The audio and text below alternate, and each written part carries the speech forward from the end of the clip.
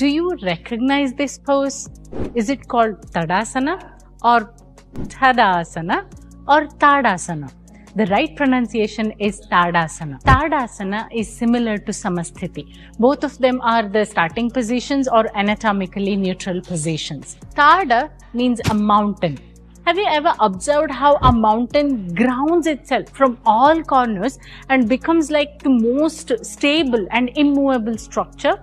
Well, that's exactly the purpose or intention of Tadasana too. In Tadasana, we become grounded or connect to the ground by rooting through our feet from all corners and we also try to distribute our body weight equally which enables our body and mind to feel balanced, stable and also well prepared for the rest of the asana practice. Well, that's the beauty and the benefit of Tadasana. Well, if you found this information helpful, then please support us by liking this video and also sharing it with your yoga friends.